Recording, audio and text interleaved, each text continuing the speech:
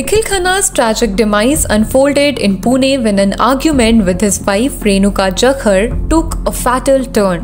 The 36 year old realtor lost his life after an alleged assault at their residence in Ganga Satellite Residential Society. Renuka now faces murder charges under Section 302 of the Indian Penal Code. Police reported Nikhil's fractured nose, prompting an investigation into the assault's nature. Senior Police Inspector Sanjay Patange noted the uncertainty, stating it could be a forceful punch or an assault with a blunt object, awaiting the post mortem report for clarification.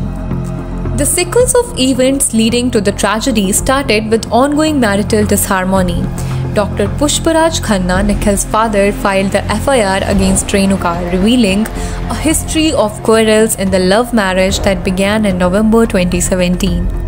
The couple resided with the Khanna family in Ganga Satellite Residence, but disputes continued, even extending to argue with domestic workers.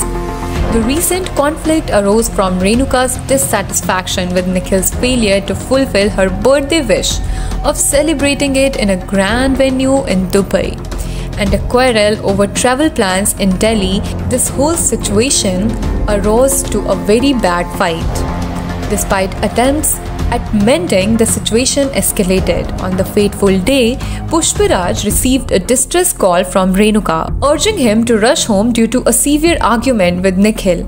Upon arrival, Pushparaj discovered his son lying lifeless, covered in blood, prompting immediate CPR efforts to revive him. But unfortunately, he couldn't succeed.